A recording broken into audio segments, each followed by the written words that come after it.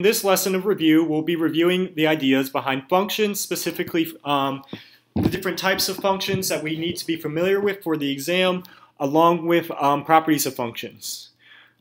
So basics of a function. A function f is a mathematical rule that takes in an input to produce an output.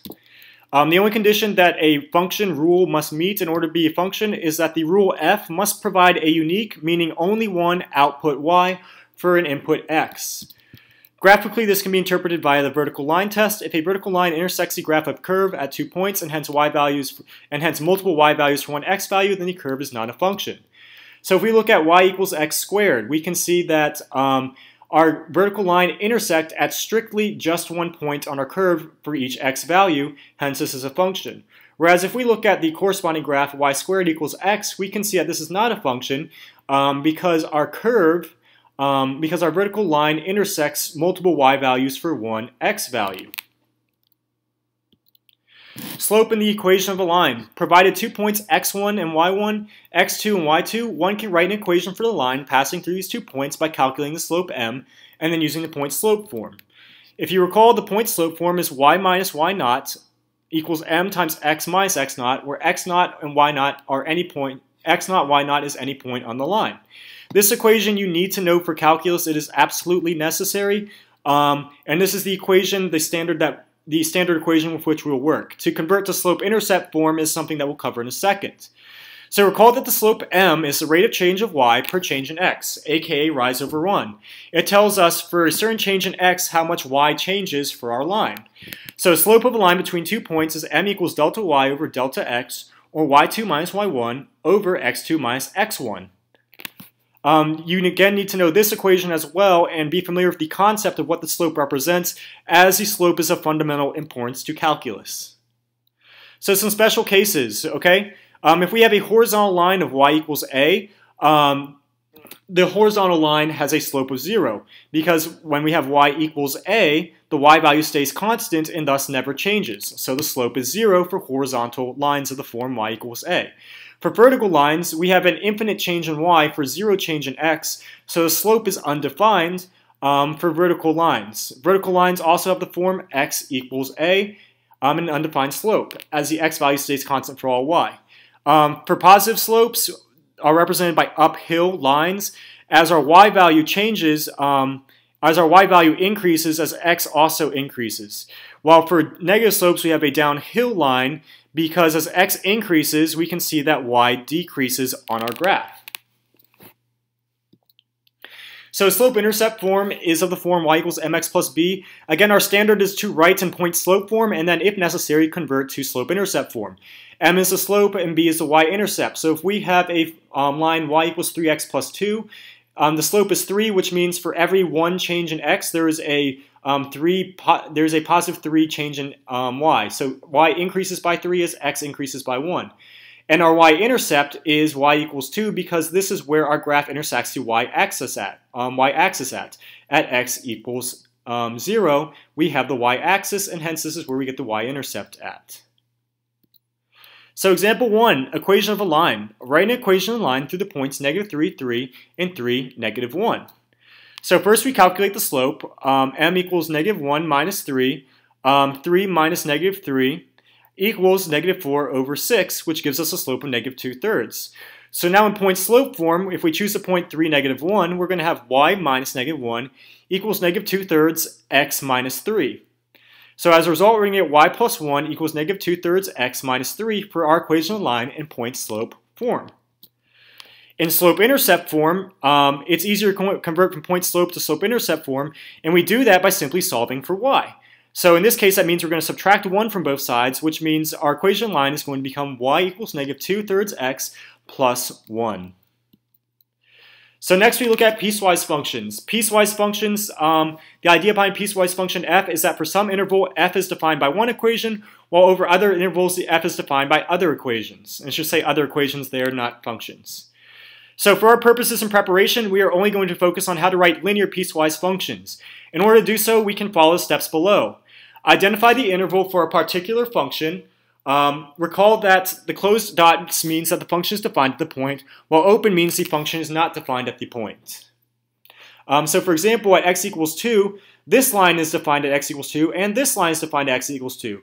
While at x equals 4, this horizontal line is not defined, okay? At x equals 4, it's this line right here that is defined at x equals 4 because it has a closed dot there. So let's look like, see what this looks like as an example. Um, next, we write the equation of the line over that specific interval. So in terms of um, an example, let's look at this example right here. We're going to write this piecewise function from negative infinity to 4, okay? Again, over the open interval, um, we're not going to do it from negative infinity to positive infinity because this line right here is a little bit more difficult to write since it does not intersect at a second point um, on the grid. Um, so it's a little bit more difficult to write. So for negative x between negative infinity and x less than or equal to 2, m is going to equal 3 minus 0 divided by 2 minus negative 1. Um, we can use any two points. Specifically in this case, I am using um, x equals 2 and 3 um, right here, and then x equals 0, negative 1 um, to give us a slope of 1. So as a result, using the point slope form, we get y minus 3 equals 1 times x minus 2. Again, using the initial point 2 and 3 right here. And solving in the slope-intercept form gives us y equals x plus 1.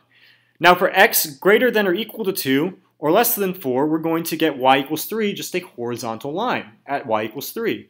So we write that f of x equals, in terms of brackets, x plus 1 for x less than or greater, um, excuse me, x less than or equal to 2. We do not need to include the negative infinity part, that's captured right here. And we have f of x equals 3 for x greater than or equal to 2 or less than 4. Thus the basic idea behind writing a piecewise function. So parent functions, each of these parent functions you need to be familiar with. You do not have to sketch them dot by dot like you're required to do in Algebra 2, but you do need to know the general shape of each function. So we have the linear function f of x equals x is equation of a line. We have the absolute value function, um, looks like a um, looks like the corner of a square, I guess. I don't know how to describe it. For me, the only thing that comes to mind when I see this is I go, oh, that's the absolute value function. And for you, it should be the same thing. So f of x equals absolute value of x f of x equals 1 over x gives us a reciprocal function. We can see that's undefined at x equals 0 because if we put an x equals 0 to this function, we're going to get an undefined number. The quadratic function looks like a parabola, f of x equals x squared. The cubic function, f of x equals x cubed, is going to kind of look like the quadratic function, but it's going to invert for x less than 0. The idea being is that when we have x less than 0, we have negative x values, and if you raise any negative value to an odd power, you're going to get a negative output. And then lastly, the square root function, square root of x. So please make sure you're familiar with each of these functions. So key transformations of functions. So in addition, you must be familiar with basic transformations of function, f, minus dilations, okay? Dilations we do not have to worry about, which, woohoo, that is awesome for us. So f of x plus or minus c is a horizontal shift to the left for plus c or minus, um, or to the right for minus c by c units. So what it does is it takes x and takes a point xy and it shifts it um, x minus c, which corresponds to the left. Um, we subtract c away. Again, that's when we have plus. So it's a little bit weird. You got to remember that the plus c goes with a shift to the left and minus c goes with a shift to the right. Um, or for a rightward shift, we're going to have x plus c as we get shifted over to the right by c units. And then the y point remains the same. So again, please be careful. Horizontal shifts x plus c gives you a leftward shift by c. Um, x minus c gives you a rightward shift by minus c. Um, a vertical shift, f of x plus or minus a is a vertical shift plus um, upwards or um, downwards minus by a units. So if we have a point x, y, x remains the same, but we're going to have x plus or minus a, and that should be, or excuse me, we're going to have y plus or minus a, and there should be a plus or minus there. So there's no weird things that you have to remember with plus with vertical shifts. The plus A corresponds to a vertical shift upwards, minus A corresponds to a vertical shift downwards. The only one you have to remember is the weird one is with the horizontal shifts. Um, lastly, we look at reflections. So we have f of negative x. That's a reflection across the x-axis um, because we're changing from x to negative x. So we're going to have xy gets converted to negative xy whereas negative f of x is a reflection across the x-axis. The idea being is that f of x is our y value, um, so we're taking y and converting it to negative y. So we go from xy to x negative y. So when it comes to graphing transformations, um, you won't be able to, you won't be expected to do them dot by dot. You should just be expected to be able to sketch general functions. So when it comes to um, transformations, I prefer to follow this hierarchy here, working from horizontal shift to vertical, and then down to reflections across the y-axis or x-axis. So let's see what this looks like in practice. Um, let's say this is a function f right here, okay, um, that we have, and we're interested in sketching the following transformations. f of negative x minus 2 minus 1. So if we start first by looking at horizontal shift, we can see we have a x minus 2, which indicates a horizontal shift of 2 to the right. Next, we can see that outside of our function, we have a minus 1, which indicates a vertical shift of 1 downwards. And lastly, this minus right here is inside of our function argument, so that indicates that there's going to be a reflection across the x, across the y-axis. So what we can start by doing is graphing the new origin of our graph using the horizontal shift and the vertical shift.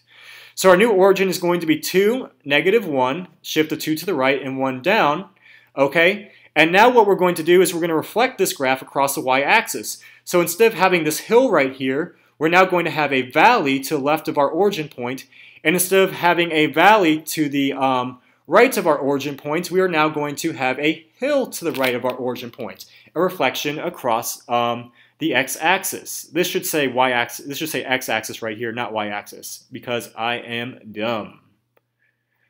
All right, actually, maybe I do have that off. Mm. Actually, in either case, yeah, no, I have this correct. Excuse me. This will be a reflection across the y-axis um, because the negative is inside the argument. So in this case, what this means is that we're going to take this hill and we're going to flip it across the y-axis, and we're going to take this valley and flip it across the y-axis, and thus that's going to give us the valley left of um, our origin and the hill right of our origin. So we can actually see the reflection in this case actually yields the same result whether it's across the y-axis or x-axis. A weird little um, fact that we'll look at in a second. So another graph of trans another example here, just because graphing transformations can be a little bit tricky. Let's say we have um, negative square root of x plus 3 plus 2.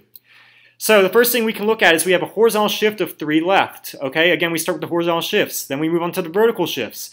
So outside of our function, we have a plus 2 tacked on, which means we have we're adding um, 2 upwards to whatever y value we have. And lastly, we can see the negative is outside of our function, outside of our parent function, so we're going to have a reflection across the x-axis. So if this is our original square root function right here, this is what our um, transformation is going to look like. We're going to be negative 3, we're going to be 3 to the left, and then 2 upwards, and then we're going to have a reflection across the x-axis, thus giving us our transformation. So the absolute value can be written as a piecewise function.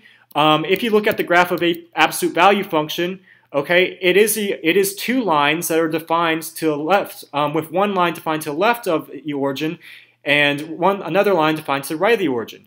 So the absolute value function x minus c itself is actually defined as a piecewise function centered at its origin x equals c.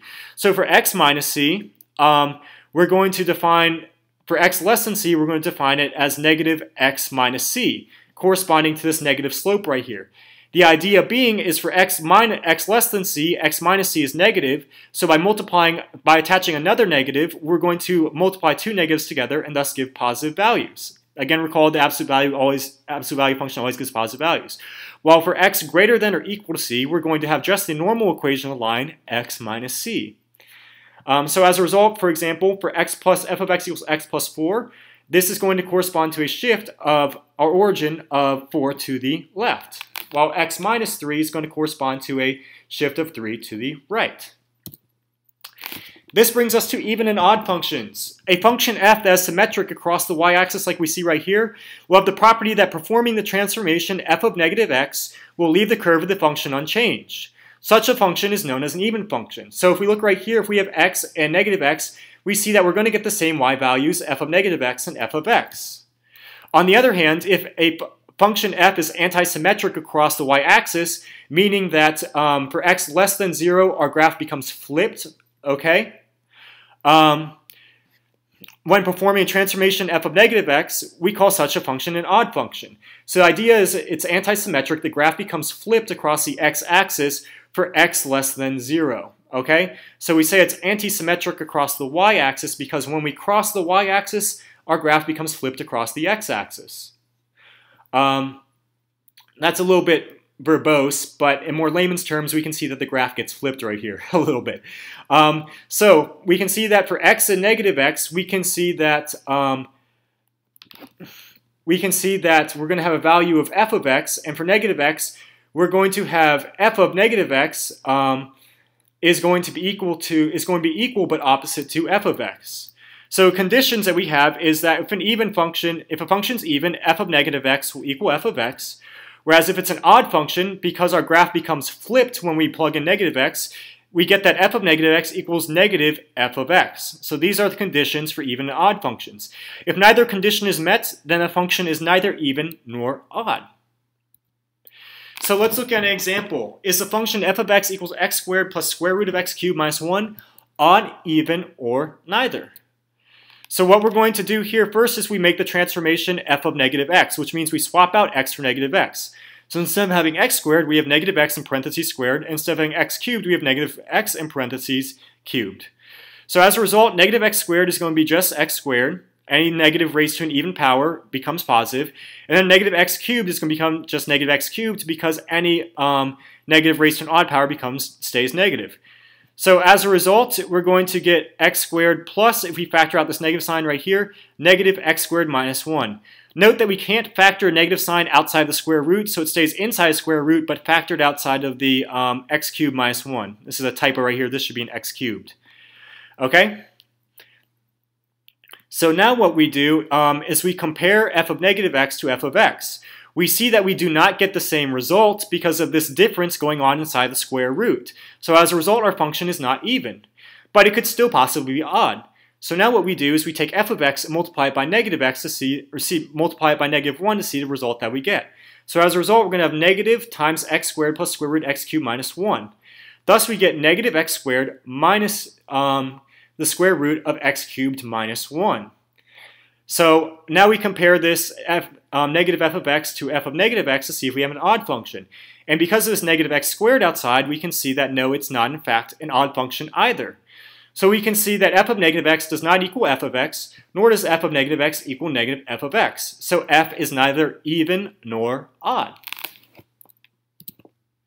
And lastly, we look at inverse functions, which do pop up um, in a very small part of this course. So um, the idea behind an inverse function is whereas a function f maps from a domain x equals a um, to a range y equals b, the inverse maps from the range of f to the domain of f. So as a result, we have what I call a coordinate inversion. If a function f is defined by at a point by the coordinates x, y equals a, b, then the inverse is defined by the coordinate x, y equals ba. The idea being is that the domain, aka the x value of our inverse function, is equal to the range of our um, original function. So b is going to be the x-coordinate for our inverse function, whereas a is going to be the y-coordinate um, for our inverse function. So please keep this in mind. This is a very important um, notes that you have to take into account with inverse functions, as we'll see when we get to inverse functions in this class. So as I stated, the domain of the inverse function is the range of f, while the range of the inverse function is the domain of f. Please note that the um, notation for the inverse function, f to negative 1, is read as f inverse. It does not mean that um, the inverse function is equal to 1 over, or equal to the reciprocal of your original function f. So determining and verifying inverses. So to determine the inverse um, of a function f of x equals y, we again recognize that we invert the coordinates, so we're going to exchange x and y coordinates and solve the equation f of y equals x for y. To verify your result, it should be noted that f of, that fx equals y is the range of a function, then the inverse should map this range to domain of f, meaning that if we take um, if we take if we um, put f of x inside of our inverse, um, our inverse is going to take us from this range f of x back to our domain. So applying the inverse to original function should give you x and vice versa. Applying the original function to your inverse should give you x. So the conditions for inverse is that the inverse of the function f should equal um, the uh, function f of the inverse equals x. Ooh, that's a very lot. That is a lot to say right there. Both of these conditions must be met. If one or the other is not met, then the result is not the inverse function of f. So let's look, like, look at what this looks like in practice. So determine and verify the inverse of the function f of x equals 6 over x minus 4. So again, we perform a coordinate inversion where we swap y and x coordinates. So we go from y equals 6 over x minus 4 to x equals 6 over y minus 4. So we solve for y now. We multiply both sides by y minus 4 to get y minus 4 times x equals 6. And thus we get y minus 4 equals 6 over x, or y equals 6 over x plus 4, giving us our inverse is 6 over x plus 4. To check our result, we can perform compositions of functions. So we have f of our inverse, meaning that, meaning that um, wherever we have x in our original function, we're now going to plug in our inverse. So that means we're going to have 6 over um, 6 over x plus 4 minus 4. The minus 4 and plus 4 cancel out, which leaves us with 6 over 6 over x, which gives you just x. Next, we compose um, the inverse with the function f of x, which means that wherever we have um, x in our inverse function, we're going to replace that with f of x. So for 6 over x plus 4, we're going to replace that x with 6 over f of x plus 4. So we're going to have 6 over 6 over x minus 4 plus 4. Um, we keep change flips with this, with this fraction right here, which means the 6's are going to cancel out, and we're going to end up with x minus 4 in the numerator, and thus the 4's are going to cancel out and leave us with x, verifying that in fact these two functions are inverses. And these are the main concepts we need to know for functions in this class.